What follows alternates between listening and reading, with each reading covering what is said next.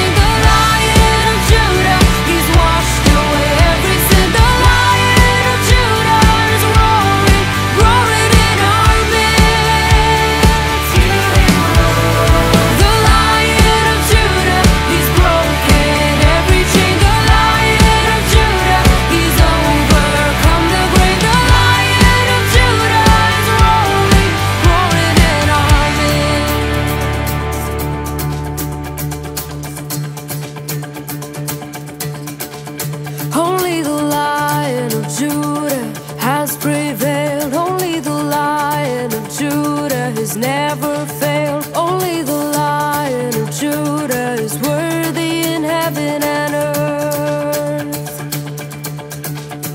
Only the Lion of Judah has prevailed. Only the Lion of Judah has torn the veil. Only